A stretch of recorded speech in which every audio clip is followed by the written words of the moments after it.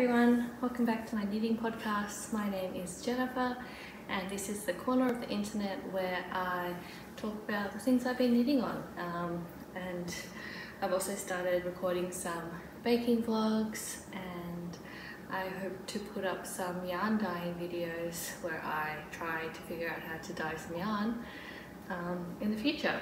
So we are here in the Southern Hemisphere in sunny Melbourne. We are in spring and heading into summer soon.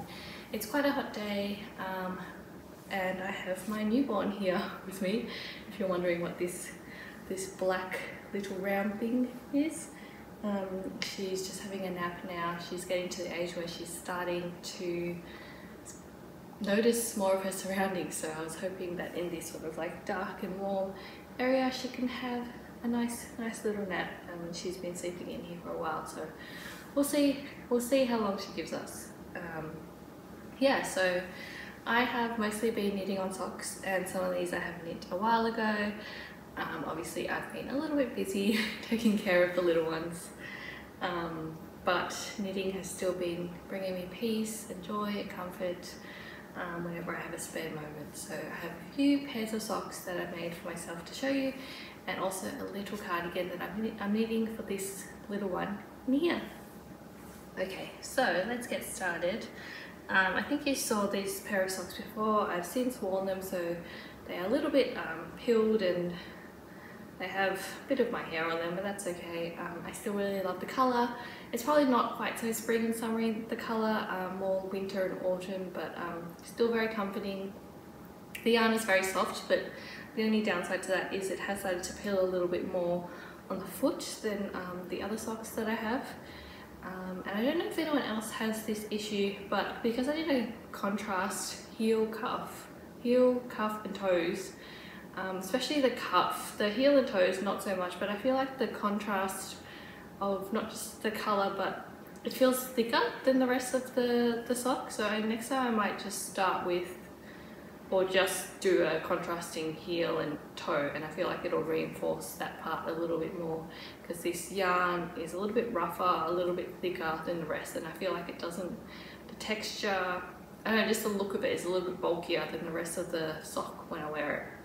But still loving wearing these, loving wearing these with my Birkenstocks, socks and sandals, so cool. Hand knitted socks, of course, um, makes all the difference, right, right, right. I don't know. I don't know. But um, I like it um, and I like showing off my socks. So that's what I've been doing. That's what I've been wearing. Um, very comfy, cozy. And yeah, probably don't need this as much now, but loving making them. These were done on Magic Loop 2.25 millimeter needles. Um, I still have leftover yarn so I can make maybe another pair of shorty socks or yeah we'll see we'll see what we do with the scraps. Actually some of the scraps that I used um, are in this next sock. So these are socks that I did for a knit along by the crazy sock lady um, here on YouTube. She's doing a knit along for her scrappy stripy socks. So they have like a little stripy thicker section here and a little strappy thinner section down here. Um, these were done on small circulars um, as well as magic loops. I was sort of experimenting to see which one I liked more when I was doing the straps. Um, I definitely like the small circulars better because um, when I was doing it with magic loop it created sort of more of like a bumpy texture where I was changing the different coloured yarns um, here on the foot. So I will just use the small circulars going forward and then just um, so what I do is I use the small circulars for most of the socks um, and then when I get to doing the heel flap and gusset section I use my magic loop needle so the longer cord ones so that I can get in and do the heel flap and the gusset um, and then once I finish doing the decreases I change back to the small circulars. Yeah, I feel like that was a mouthful, but yeah, we got there. Um, it is a nice, I did it as per the instructions that she has on her project page. Um, I feel like I don't know if I use the right sort of yarns to make these because I use some of that um, Regia sort of self-striping and it changes quite often the colors and the pattern. So it's not as much of a contrast when you put it in a stripy sock like this but I still like the overall feel of the grey with the, the pinks, the purples and the blue greens um, mixed together. Um, so yeah you can see some of that um, purple stripy yarn um, from my previous sock here as well it wasn't a very portable project because I had like five balls of half balls of yarn um, in like a big bag to carry around. So it was more like a stay-at-home project not really a lug around with me project. Um, but I really enjoyed doing them and I can see myself doing more of these in the future. And I like um, having this sort of solid contrast colour or main colour to use with them. Um, yeah so it's nice to have a pair of grey scrappy stripy socks in my collection now. Um, and the last pair of socks um, was made after this because I used some of the pink self-striping yarn in these socks to make this pair of shorty socks. So this is another Regia yarn, Schachenmayr Regia, um, not sure how to pronounce it, but yeah, I made myself a pair of shorty socks using 2.25 millimeter again, 9, uh, 9 inch, 25 centimeter circulars um, um, with just a heel flap and gusset. And I'm looking forward to wearing these with like my white Converse, just add like a pop of colour to my outfits. Uh, very hardy, little bit rough yarn, but it's still fun to see all the different stripes and patterns. Knit up like that. And I think I can make, I definitely can make another pair of socks with the 100 gram ball of yarn I have.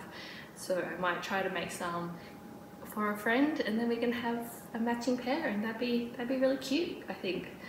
Um, I have a friend in mind that I think would appreciate some hand knit socks so I can make those um, as like a little summer project down the road. But I do have a few other things I want to finish first um, first thing is this baby cardigan. Um, it is called the Teddy Sweater um, on Ravelry. It is a pattern by Yarnspirations or a pattern by someone, someone made for Yarn Inspirations, but I'll put the details down below.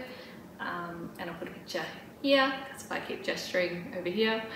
Um, and it is the first sort of garment that I've knitted which is knit in pieces.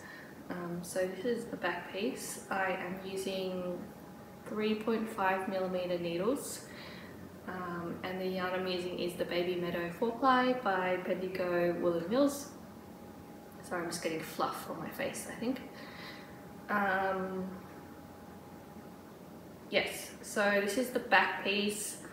I don't know if I do this pattern again because um, this is one of the side pieces and as you can see it has like a border of the yellow um, and it just says to drop the yarn.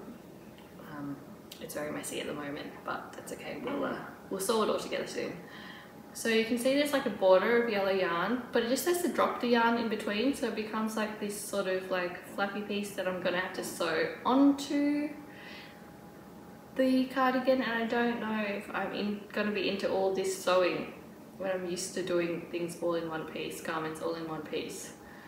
Um, but yeah, I think the colours I chose were really cute. It reminds me of like a like something you'd see at like a seed heritage store um, for kids. Uh, and yeah, I'm just gonna have to be careful when I hem this together that it all meets up, I guess. I just have one more tie to knit and then I'll be done with the knitting and then I can start hemming it all together. Um, I do have other projects that I haven't progressed on um, like the sweater for Ash but he will probably have to wait till next winter, next autumn winter to wear it at this rate but I do want to finish that off.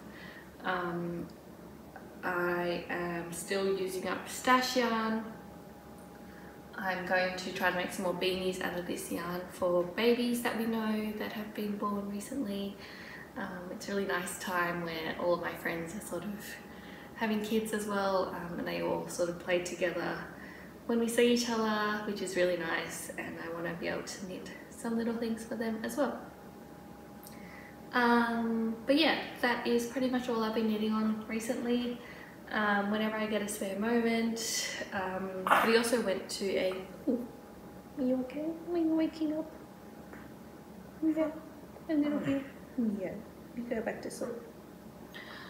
We went to a yarn market, um, me and the girls, uh, the She's Crafty yarn market in Melbourne and I bought a hank of yarn as you can see. It is lattice sock fingering 4 ply, 75% superwash, merino and 25% nylon by Passion Flower and the colour is in Christmas Beetle and I love it. I can't wait to cast this on for Christmas. Um, little baby I can hear is waking up at the moment. That's alright. We'll just quickly finish this video off and then we can uh, play a little bit. Bit of playtime. Anyway, um, I haven't bought sock yarn in a while, so I bought this and I figured I wanted a contrast color, but I want to dye my own contrast color. Okay, we're back. Yes, so I want to dye my own contrast color and as you can see there's a bit of navy blue speckle in there and I want to do a navy blue one. So I bought some undyed sock yarn that's coming in a cone and I'm very excited. Um, but yeah, I think we're going to wrap this video up here. Um, I hope you all have a great day.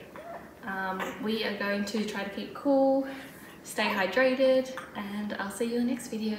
Bye.